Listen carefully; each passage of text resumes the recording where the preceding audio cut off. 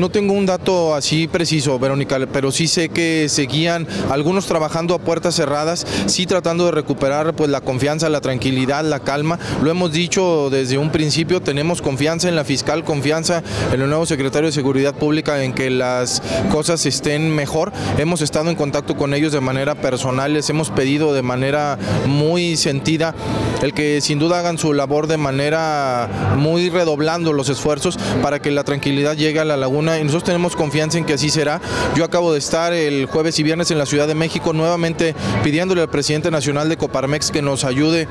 también eh, empujando desde allá con el secretario de Gobernación para que los esfuerzos se sigan realizando. Y bueno, el compromiso también del presidente nacional Juan Pablo Castañón ha sido en ese sentido de podernos ayudar y que también se le pueda ayudar en esta labor al gobernador y, a las autoridades en la región ¿Saben ustedes eh, de casos de empresas donde los empleados ya laboren en sus casas a través de la red? No, la verdad no, lo que sí hemos sabido es que ha habido un poco de ausentismo por cierto temor que ha habido, pero ya se está recobrando esto, esto fue